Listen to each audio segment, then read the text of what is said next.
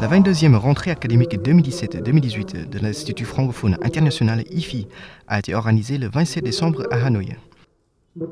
Cette année, la promotion comprend 37 étudiants venus de 17 pays francophones.